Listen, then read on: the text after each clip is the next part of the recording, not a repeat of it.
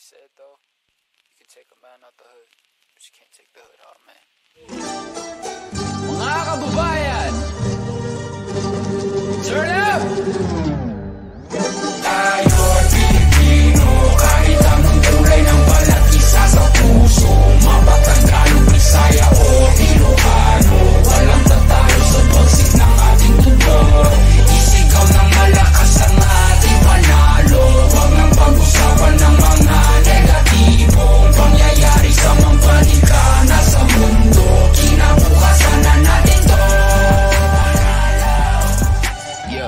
keep one in your mouth.